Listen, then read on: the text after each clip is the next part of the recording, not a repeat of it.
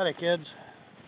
Hey, listen, I'm going to do a little test here. We'll see if the uh, iKam Extreme is going to work while shooting our bow. So we'll play, take a couple of practice pokes and see what happens. All right. Okay, we're going to start here at 30 yards with the perfect Nuge arrow, 100 grain field point.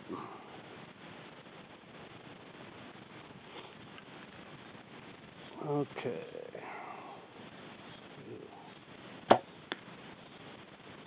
Not bad. Looks like a little bottom lung shot. Try one more. It's kind of difficult to see that damn through the peep sight with these iKams on. I don't know if this is going to work on the hunt or not. Yeah, should be okay. Let's fling a uh, Magnus Stinger Buzzcut down there. Thanks, Mike, for making the best broadhead in the world.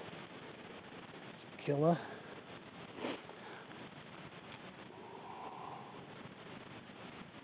That looks pretty good. Let's zip one more broadhead down there and we'll see what's happening.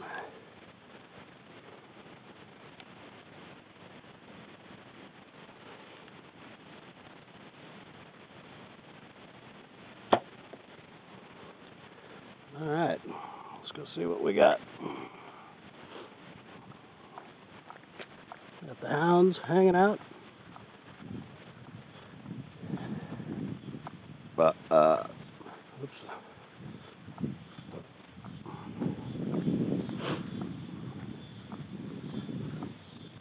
Now, one of those broadhead targets shots is a little bit low. That probably would just be a wounded critter. So, we got to take a few more shots, but we're not going to do that for today's exercise. That's a dead elk. That's a dead elk. So,